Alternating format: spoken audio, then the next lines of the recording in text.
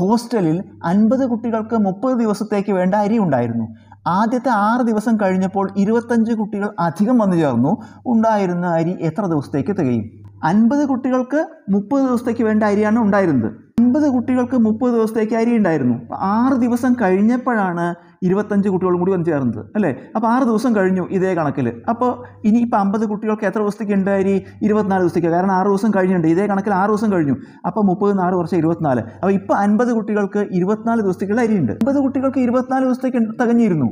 ആ സമയത്താണ് ആറ് ദിവസം കഴിഞ്ഞപ്പോഴാണ് ഇരുപത്തഞ്ച് കുട്ടികളും കൂടി ചേർന്നു.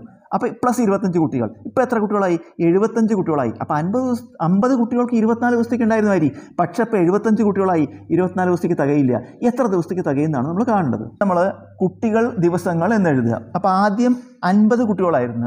അല്ലേ? അൻപത് കുട്ടികൾക്ക് ഇരുപത്തിനാല് ദിവസത്തേക്കാണ് തികഞ്ഞിരുന്നത്. ആറ് ദിവസം കുറഞ്ഞുവല്ലോ? അപ്പോൾ ഇരുപത്തി അമ്പത് കുട്ടികൾക്ക് ഇരുപത്തിനാല് ദിവസത്തേക്ക് ഉണ്ടായിരുന്നു. ഇനി ഇരുപത്തഞ്ച് കുട്ടികൾ കൂടി എഴുപത്തഞ്ച് കുട്ടികളാവുമ്പോൾ നമുക്ക് അറിയില്ല എത്ര ദിവസത്തേക്ക് തികയുന്നു അപ്പോൾ അൻപത് കുട്ടികൾക്ക് ഇരുപത്തിനാല് ദിവസത്തേക്ക് ഉണ്ടായിരുന്നു.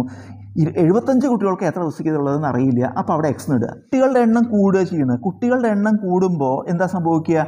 അരി എത്ര ദിവസത്തേക്ക് തികയും ആ ദിവസങ്ങളുടെ എണ്ണം കുറയും അല്ലേ? കുട്ടികളുടെ എണ്ണം കൂടുന്തോറും അരി എത്ര ദിവസത്തേക്ക് തികയും എന്നുള്ളത് കുറഞ്ഞു വരും. അപ്പോൾ കുട്ടികളുടെ എണ്ണം കൂടുമ്പോൾ ദിവസങ്ങളുടെ എണ്ണം കുറയും. അതായത് വിപരീതാനുപാതം എന്ന് പറയും. വിപരീതാനുപാതം പറയുമ്പോൾ നമ്മൾ എന്താ ചെയ്യുക? ഈ അമ്പത് ഈസ്റ്റു എഴുപത്തഞ്ച് അതുപോലെ ഇടുക. ദിവസങ്ങളുടെ എണ്ണം തിരിച്ച് എഴുതുക. അതാണ് വിപരീതാനുപാതം. അപ്പോൾ ഇരുപത്തിനാല് എക്സ് തിരിച്ചിട്ട് എക്സ് ഈസ്റ്റ് ഇരുപത്തിനാല്. ഇനി എന്താ ചെയ്യുക? ആ അവസാനത്തെ ഏറ്റവും അറ്റത്തെ രണ്ട് പദങ്ങൾ ഗുണിക്കുക. സമം മധ്യപദങ്ങൾ ഗുണിക്കുക. അന്ത്യപദങ്ങളുടെ ഗുണനഫലം സമം മധ്യപദങ്ങളുടെ ഗുണനഫലം. അപ്പോൾ ഈ അറ്റത്തുള്ള അൻപത് ഈ അറ്റത്തുള്ള ഇരുപത്തിനാല്. അപ്പോൾ അൻപത് ഇന്റു ഇരുപത്തിനാല് സമം മധ്യത്തിലുള്ള രണ്ട് കൂടി ഗുണിക്കുക. എഴുപത്തഞ്ച് ഇന്റു എക്സ്. ഇത് നിന്ന് എക്സ് കാണുക? എഴുപത്തഞ്ച് കൂടെ ഹരിച്ചാൽ മതി. എക്സ് സമം അൻപത് ഇന്റു ഇരുപത്തിനാല് ബൈ എഴുപത്തഞ്ച്.